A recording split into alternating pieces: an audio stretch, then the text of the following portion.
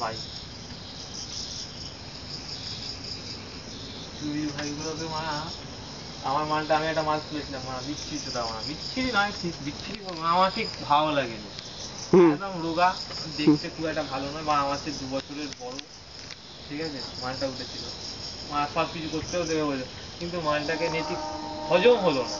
সহ্য হয়নি। সহ্য হয়নি। আমি কি করে কাটাবো? কিছুতে কাটছে না ঝগড়া ফগড়া করছি কাটছে না।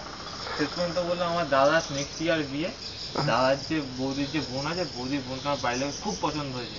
কথা হবে কথা হবে আমি এইসব বলে মালটা হাঁটি